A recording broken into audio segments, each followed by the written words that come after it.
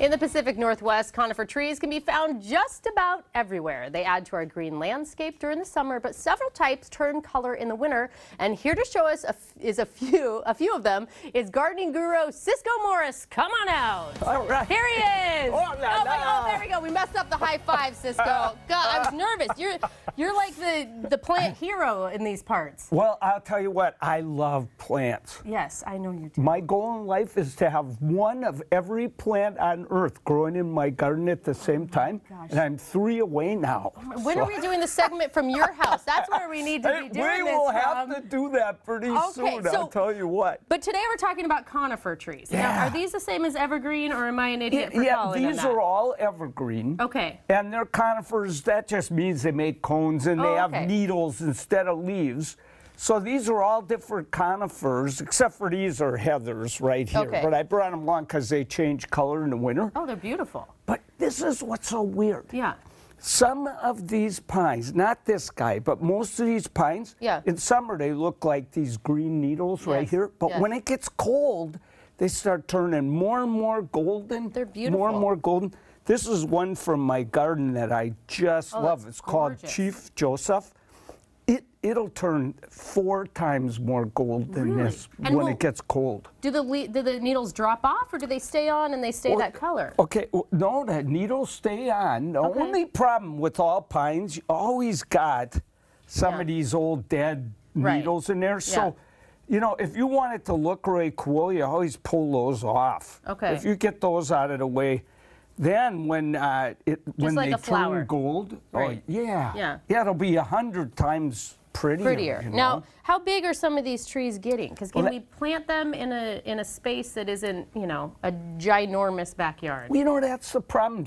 Not many of us have ginormous Right. backyards anymore. And in my garden, you know, it's so full of plants, there's hardly anywhere to plant something. Yeah. So uh, this is Karsten's uh, this is beautiful. Golden Glow Mugo Pine. Yeah. In 10 years, Okay. this is only going to be two feet tall and three feet wide. Oh, so you could even put this in a, a pot if You you, could put that to. in a pot, you could do anything, and it'll be green all summer, boring as can be. Right. But then in the winter, as soon as it It starts shines. getting cold, it just comes. Now, this one, you could prune this. Okay. So if you don't want it to get too tall, this is uh, called gold coin Scotch pine, and it'll eventually get 20 feet. Okay. But you know, the nice thing about pines Mm-hmm. Okay. is you can go out there and you can go, all right, I don't want this to get so tall.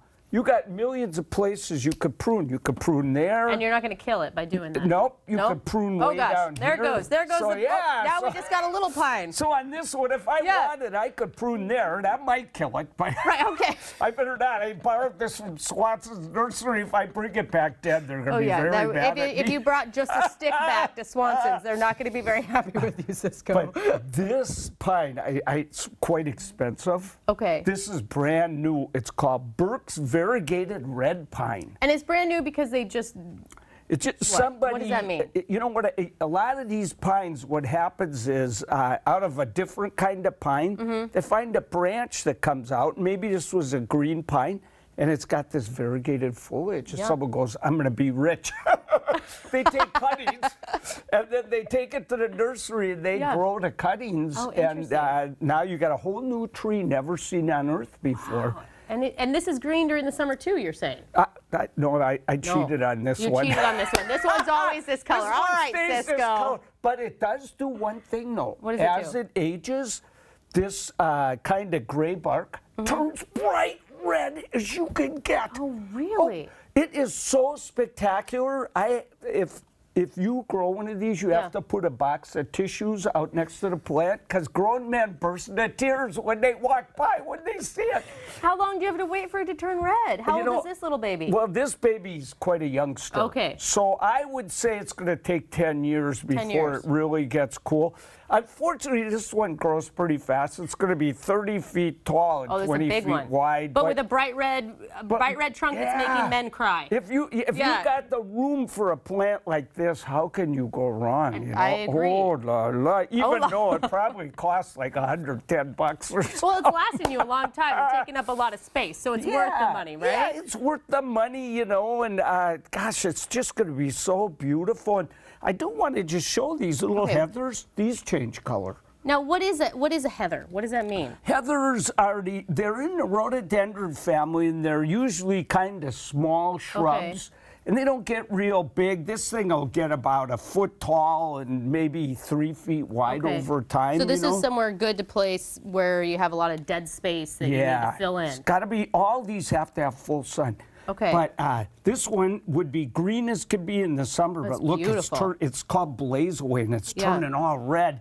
This one's called Zoe. Look, Well, look at how the cute color this in little there. one is. That is beautiful. I mean, all sorts of different colors there. Yeah, so, and then they And bloom in the summer. Can you plant them now? Is now an okay time to plant things, or do we need to wait till the spring? That's a perfect question because right now is the perfect It is, time. okay. Because the plants in the warmer weather that Yeah. we're having, they'll grow lots of roots. So by spring, when it gets dry and Mm-hmm. the sun bakes them and everything, they'll have a good root system. They're ready to go to town. So put your rain jacket on and get brave out there, get in the rain. And it's easier to dig when it's just mud already, yeah, right? it is, and it's fun to dig Yeah. in the mud. Get nice and muddy.